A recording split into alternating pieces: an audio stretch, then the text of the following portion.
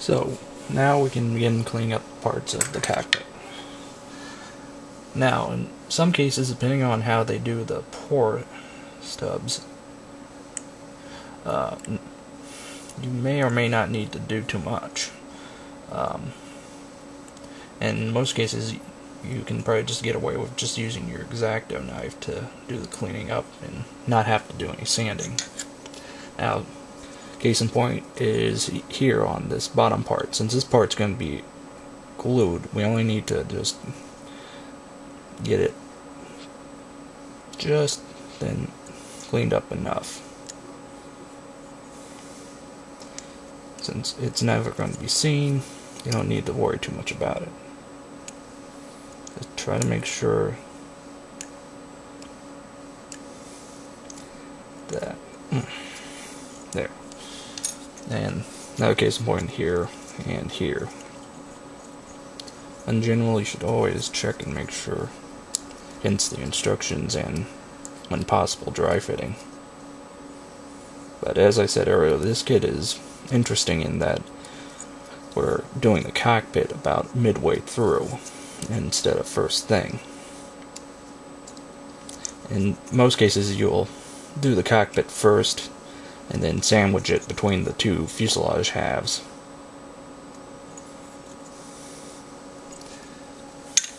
And as I said, most cases you won't have this part to deal with. Uh, this part I'm, again, just going to do light now since we're going to be gluing it and then just sand it up later.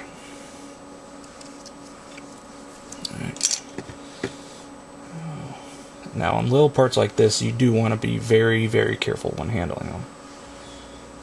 It's, very easily to damage or destroy them.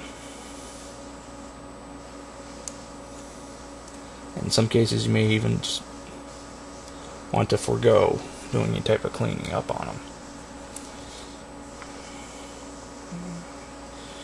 Alright, so looking good, and I'm gonna go paint these and be back with the next part. Since, oh yeah, since this part has basically two colors that we're gonna need, up next part I'll show quick and easy masking. And oh yes, actually one thing I should also show. Great use for sticky tack is in most cases you can use sticky tack to attach parts to your sprue trees. Parts especially like this one. And also this one.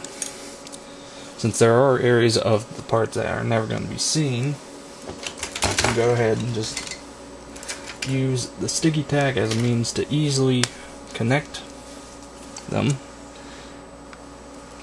Put it on back, sprue in, boom. Now I'll also be using sticky tack later on for another aspect of this build. And so you're just gonna have to stay tuned until we get to that. So I'll be back once I get these um, painted with their first coat of paint. Alright, now I've got the parts that I had previously cut out painted up, and now we're going to mask. Now, for most masking, I like using the Tamiya brand uh, masking tape as general I find it it the to work with. Now, one thing to ensure that you don't have any pull up when you remove the mask is to basically run it on your hand, pull it off. It reduces the tackiness and should help prevent any pull up when you go to remove it. Though if you prime correctly and everything, you shouldn't have that problem, but at the same time, it's always good just to play it safe.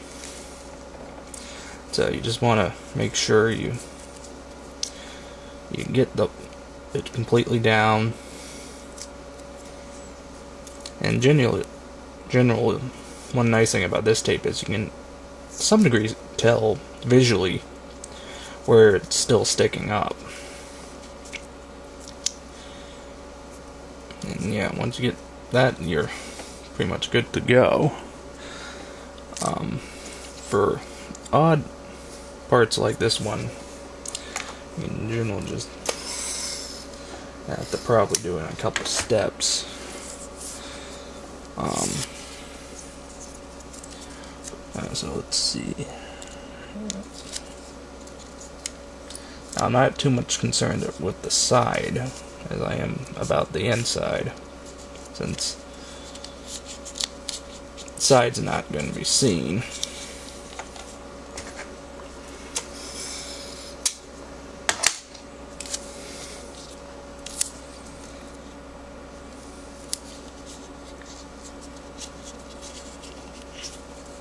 It's better to general overmask and play it safe than to undermask and potentially miss a part and then be in trouble.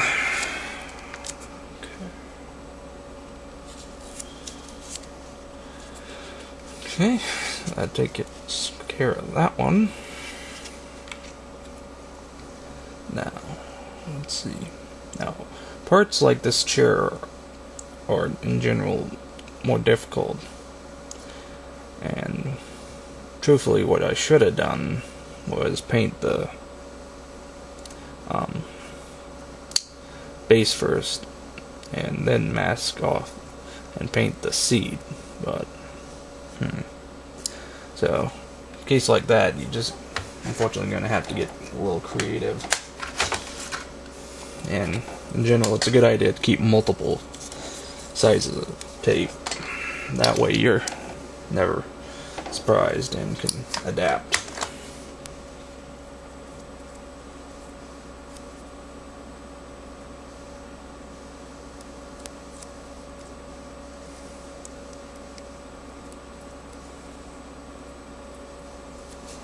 And you've got a lot of excess like here, just trim it off pair of scissors. No real big deal.